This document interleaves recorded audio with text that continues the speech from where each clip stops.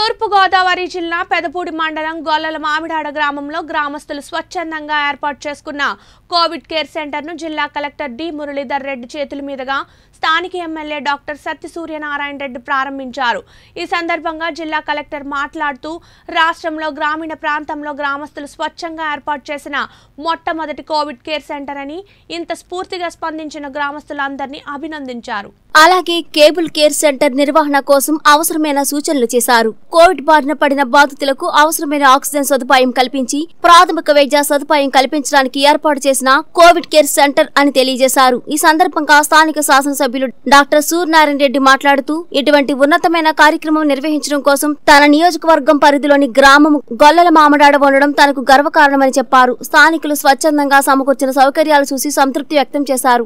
గొల్లల మామిడాడ గ్రామంలో ఈ ఆర్హెచ్సి సెంటర్లో కోవిడ్ కేర్ సెంటర్ ప్రారంభోత్సవానికి ఇచ్చేసినటువంటి కలెక్టర్ గారికి ప్రత్యేకంగా ధన్యవాదాలు తెలియజేస్తూ ముఖ్యంగా గతంలో అయితే ఈ రూరల్ హెల్త్ సెంటర్లో మేజర్ సర్జరీస్ కూడా ఇక్కడ అవేవి గత ఇరవై ఐదు సంవత్సరాల నుంచి కూడా రాను రాను ఈ ఆసుపత్రి ప్రభావం కూడా కోల్పోవడం జరిగింది.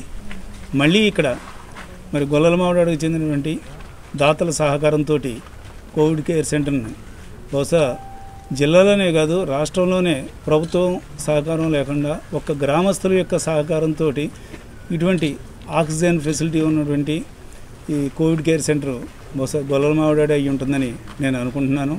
అంతేకాకుండా ఇక్కడ ఉన్నటువంటి పేషెంట్లందరికీ కూడా నాణ్యమైన ఫుడ్ కూడా ఇక్కడ సప్లై చేయడానికి ముందుకు వచ్చినటువంటి ఈ దాతలందరినీ కూడా ప్రత్యేకంగా అభినందిస్తూ అదేవిధంగా మరి ఈ సందర్భంగా కలెక్టర్ గారు కూడా వినవించేది ఏమిటంటే మరి గతంలో ఎంతో ప్రసిద్ధి చెందినటువంటి ఈ ఆసుపత్రికి కనీసం ఇద్దరు ముగ్గురు డాక్టర్స్ని స్పెషలిస్ట్ డాక్టర్స్ని కూడా ఇక్కడ పోస్ట్ చేయవలసిందిగా కలెక్టర్ గారిని అభ్యర్థిస్తున్నాను. ఎంచేతనంటే ఈ కోవిడ్ వేవ్ అయిపోయిన తర్వాత కూడా రెగ్యులర్గా ఇక్కడ పే- మనకి ప్రజలందరికీ కూడా ఇది ఒక మంచి ఆసుపత్రికి ఇది డెవలప్ అవుతుంది.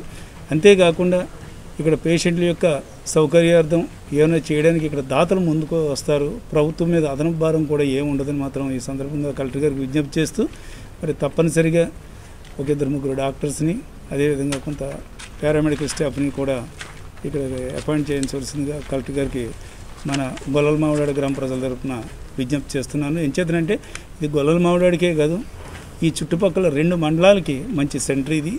కాబట్టి ఈ సెంటర్ని డెవలప్ చేయవలసిందిగా దానికి మరి మన కలెక్టర్ గారు కూడా తగిన మరి బాధ్యత తీసుకుని దీనికి మన ప్రజలందరికీ కూడా అందుబాటులో ఉండేలా చేయవలసిందిగా విజ్ఞప్తి చేస్తున్నాను. Thank you sir.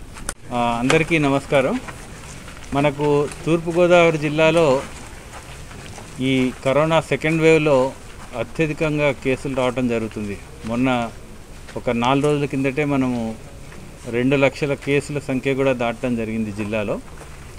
అయితే కేసులకు తగ్గట్టుగానే మన ప్రిపరేటరీ వర్క్ కూడా పెంచుకోవడం జరుగుతుంది. హాస్పిటల్స్లో ముఖ్యంగా గవర్నమెంట్ హాస్పిటల్స్లో ఆక్సిజన్ బెడ్స్ అదేవిధంగా ఐసీయూ బెడ్స్ పెంచుకోవడం కానీ ప్రైవేట్ హాస్పిటల్స్ ఏవైతే ఉన్నాయో వాటినన్నింటినీ కూడా కోవిడ్ ట్రీట్మెంట్ కోసం నోటిఫికేషన్ ఇవ్వటం కానీ ఇదే కాకుండా triple Cs covid care centres. అక్కడ మనకు కావాల్సినటువంటి అన్ని మెడికల్ ఎమర్జెన్సీస్కు సంబంధించిన ఎక్విప్మెంట్తో పాటు డాక్టర్స్ కూడా పెట్టుకోవడంతో పాటు దాదాపు ఆరు వేల మంది కెపాసిటీతో ఎస్టాబ్లిష్ చేసుకోవడం. ఇవి కాకుండా గ్రామ స్థాయిలో విలేజ్ ఐసోలేషన్ సెంటర్స్ అదేవిధంగా సిఎస్సి ఏరియా హాస్పిటల్ స్థాయిలో లేదా కొంతమంది దాతలు ముందరకు వచ్చి పెట్టినప్పుడు స్టెబిలైజేషన్ సెంటర్స్ని కూడా మనము ఎస్టాబ్లిష్ చేసుకోవడం జరిగింది. ఇవన్నీ చేయటం వల్ల ఈ కరోనాను కట్టడి చేయడంలో కొద్దిగా మనం సమర్థవంతంగా ఎదుర్కోగలిగినట్టు భావించాలి. ఎందుకంటే ఇప్పుడు గత మూడు నాలుగు రోజుల నుంచి చూస్తే పాజిటివిటీ ఏదైతే ఉందో అది తగ్గుతూ ఉంది. మనకు మొత్తం పాజిటివ్ కేసెస్ చూసినట్టయితే రాష్ట్రంలో అన్నిటికంటే మందే ఎక్కువ ఉంది. కానీ టెస్టులు కూడా మనము ప్రతిరోజు కూడా పదకొండు వేల వరకు చేయటం వల్ల వచ్చింది. ఈరోజు పాజిటివిటీ కూడా బాగా తగ్గింది. అయితే పాజిటివిటీ తగ్గింది లేకపోతే మన కరోనా నుంచి బయటపడ్డాం అనేది కాదు.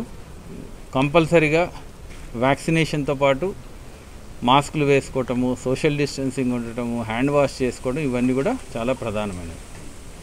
అయితే ఈరోజు ఈ జీ మామిడాడ గ్రామంలో చూసినట్టయితే మొదటి వేవ్లో కూడా జీ మామిడాడలో మనకు జిల్లా స్థాయిలో ఎక్కువ శాతం కేసులు రావటం జరిగింది. ప్రధానంగా దానికి కారణం ఏంటంటే ఫ్లోటింగ్ పాపులేషన్.